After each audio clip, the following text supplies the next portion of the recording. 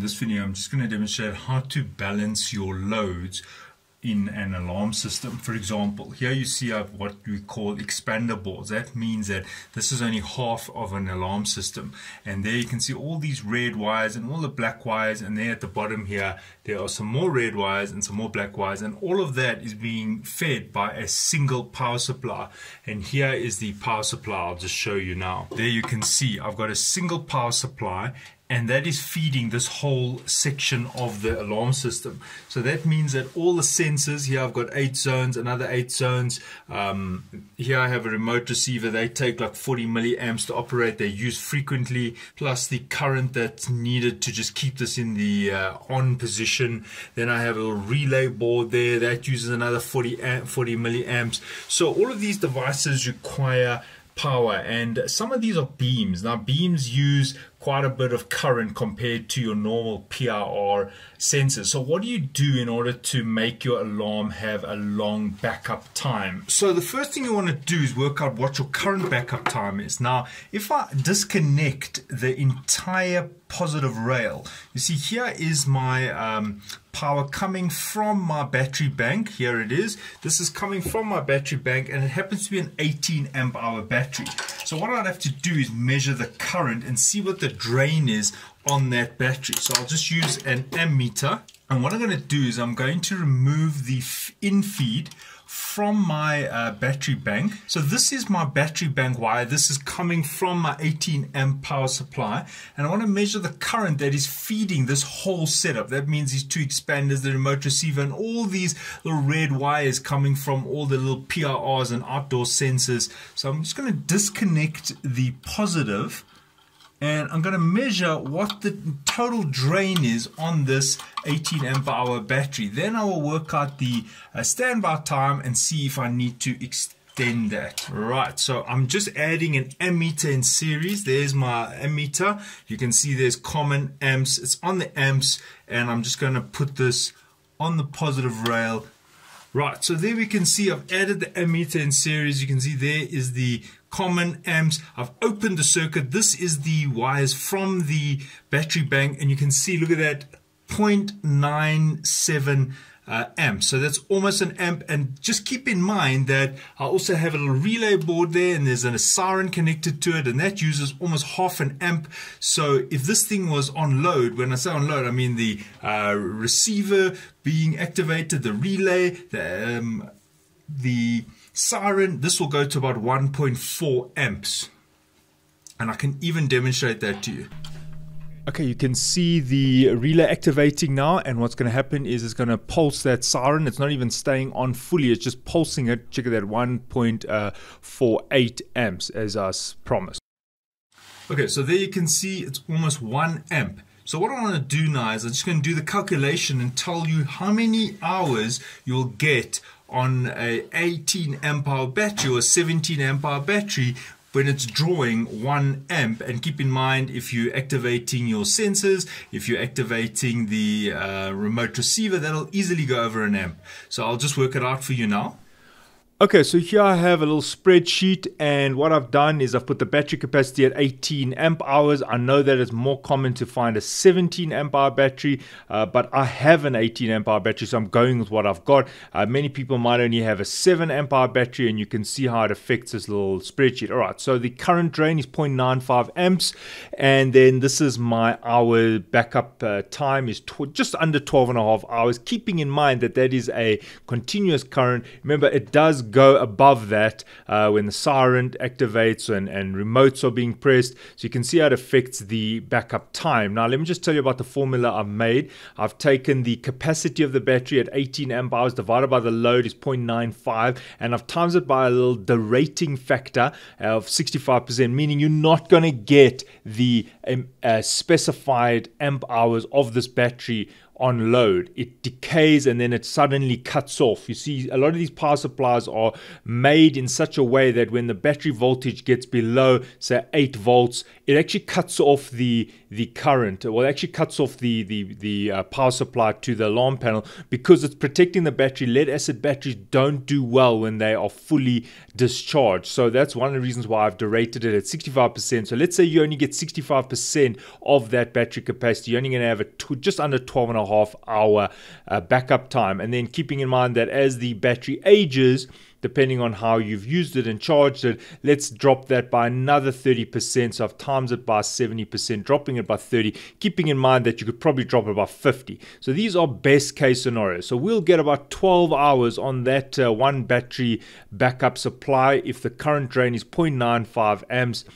And uh, the goal here is to reduce that uh, drain so that we can almost double the backup time. But then, how do we do that? We need to share that load onto another battery power supply. And that's why I have this little spreadsheet with different battery banks in this little installation, trying to uh, match all the battery um, backup times and you can see this one is a bit of a weak link and that is one of the reasons why I'm going to add another battery backup supply and that's what I'm going to show you proving that I'll reduce the current which is quite obvious but I'm just showing you the method in terms of measuring the current and how to go about it. All right, let's get back to the video.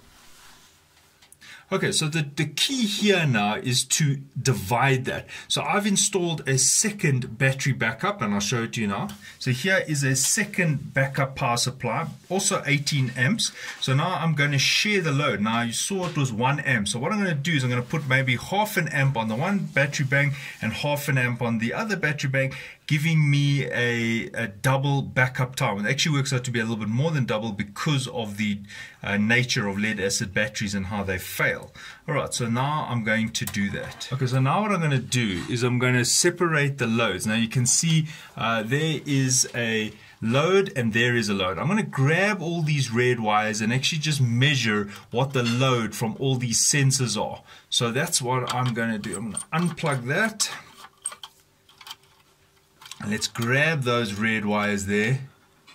All right, so what I've got here is a complete uh, bundle of positive wires that are coming from at least eight, you know, at least eight different sensors, and I'm going to measure the current drain on those uh, that would feed those sensors. So I'm just going to connect it back to the positive. You see now I've opened the circuit and let's see how many milliamps uh, those sensors are pulling. Look at that. 0.5 amps. So right there, I've just found 0.5 amps, which I can now load onto the other battery bank, therefore sharing the load, giving me double the backup time. So what I'm going to do now is quickly wire that into the other battery bank. Um, here is the wire already coming from that battery bank. And then I'm literally just going to connect the positives and the negative to all those sensors. Remember the alarm sensors, the PIRs, doesn't matter where they get the power from.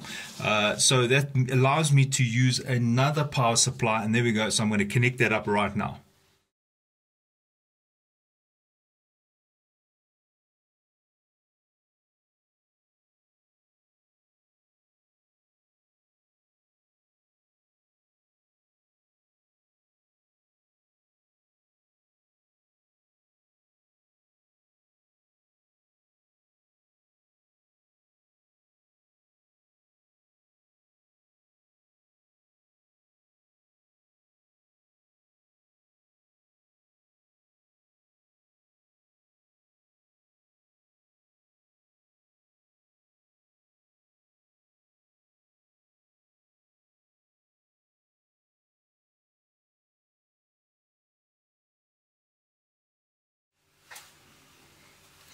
Right, so there I've connected it up.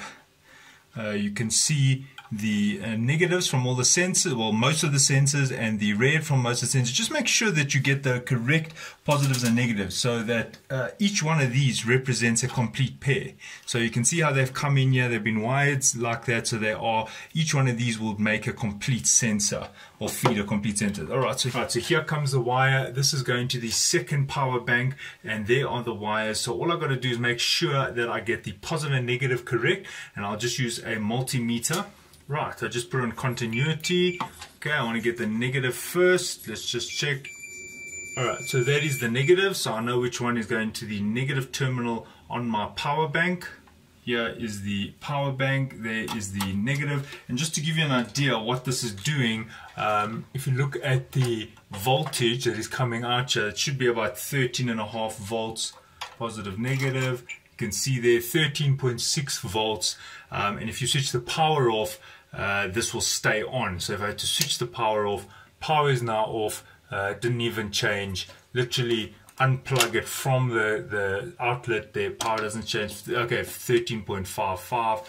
Okay, so then switch it back on and you can see uh, there it went 13.65. All right, so this is going to now feed the sensors while the other power bank over here the other power supply over here is going to feed the boards um, and other uh, alarm suppliers. So you can see I've still got some other sensors here. You can see there's still some populated uh, positive and negatives here. So already uh, at half an amp, i am going to already take half an amp of this one, giving me about a 50 50% division here.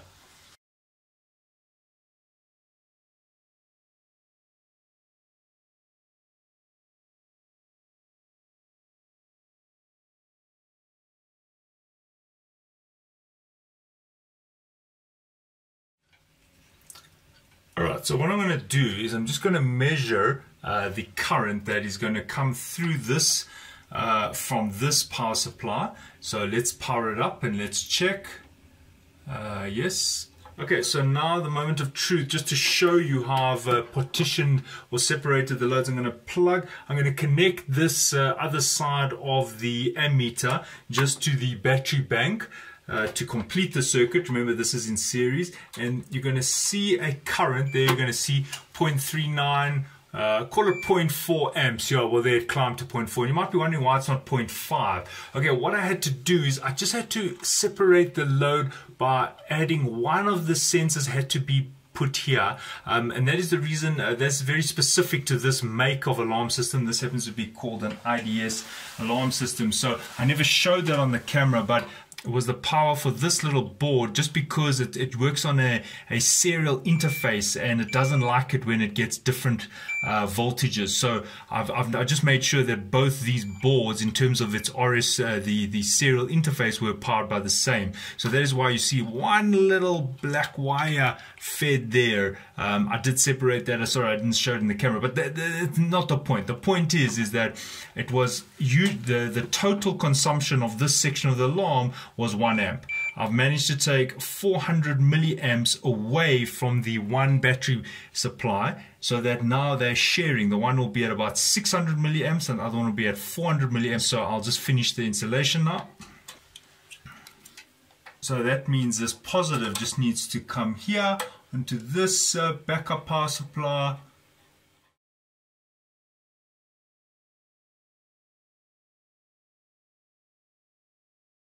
Okay, so to sum up, I had one, one battery uh, power supply or one battery and now I added, I duplicated so that this would have almost more than double the backup time because as you can see this alarm is getting quite uh, heavily populated. So now I added another battery bank. I do have a video showing how to install one of these and this is giving me another 18 uh, amp hour battery and now I've kind of spread the load so you can see here's the one battery power supply and the other one is coming over there directly onto the board. Um, and I'll show you that current so you can see what impact has been made now that I've lifted 400 milliamps. So effectively we should see here um, on this multimeter we should see 600 milliamps which is now being uh, um, supplied by the one battery bank the one power supply instead of the 1 amp or the 960 milliamps Okay, so I'm just going to open this one and show you.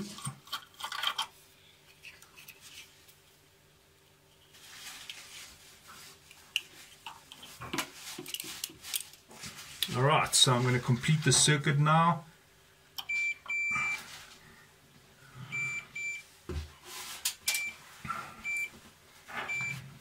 Okay, there we go. 0.5 amps um, so the 0.5 plus the 0.4 gives you the 0.9. Uh, and that's what we had in the beginning. That's what we had in the beginning, the 0.9 minus the 0.4 is the 0.5. It's slightly less loading now. Um, there have been some changes. People are not walking around here, so uh, the sensors are not being as activated. Uh, but there you go. So that'll be about between 0.5 and 0.6 depending on people's movements and the sensors out uh, in the outdoor area. As, as I said, some people are no longer moving around it's now a bit of time has passed. Okay so there you can see I've got 0.5 on the one back uh, backup power supply and on the other one I've got um, 0.4 uh, and that gives me 0.9 Okay, so there is the finished product. You can see there was the first uh, power supply. Now I've added another one. This one is sitting at 0.5 amps. This one is sitting at 0.4, keeping in mind that the siren and the smoke detectors on this one. So when the alarm activates, this one is going to be loaded more. So that makes sense because this one is uh, in terms of continuous current 0.5 this one in terms of continuous current 0.4 but in terms of peak current this will go up to about 0.9 because you add half an amp uh, so 0.4 plus 5, so 0.9 when the siren activates. And then keeping in mind these other peripherals do uh, fluctuate the current, but overall I've now more than, probably just more than doubled the backup time. Okay, and then just make sure you keep your wiring neat. And there you can see, even if I switch it all off, um, that nothing will happen to the alarm. I get way over 20 hours or way over the amount that I've uh, explained. Okay, so there we go. I had an original battery power supply. It was an 18 amp hour. As I showed you now, I added a second one and I was able to drop that 0.95 amps to 0.5 on the one and it was 0.4 on the other. Now, obviously, these amounts do fluctuate because it depends on the uh, what people are doing in on the premises. And as I said, uh, some uh, sensors activating and and gates uh, uh, sensors being open, then what happens is this current does change. So let's just say it was 0.5 and 0.4 as we've measured at the end of the video. You can see that the same battery capacity but look at the backup time going from just over 12 hours to 23 hours, and this one at 29 hours. So now I've effectively doubled the backup time, and in real life scenarios, it is doubling, and I'll tell you why. Because these batteries, they funny, they um, the power supplies want to cut them off at a critical voltage because it does destroy the battery if you take a lead acid battery and let it go completely flat. So the intelligent power supplies will actually cut off the power, um, and that's why a lower current actually is better. A lower current drain is actually better for the battery. Battery can actually respond uh, uh, better. So it's not a linear response. And that's why I said it's actually more than double the backup time, although it's not showing it on this little spreadsheet because this is just kind of doing a linear response. Okay. So what you need to know is that I was able to split the load Similarly, how you do on a uh, electrical DB supply, maybe you've got a three-phase power supply, you'll have to split your loads. Well, the same on this battery, a little DC power supply here. I put 0.5 here and 0.4 here. Now bringing these backup times into a much higher range. All right, so that's how I did it, and I hope that was helpful. Thanks for watching. Cheers.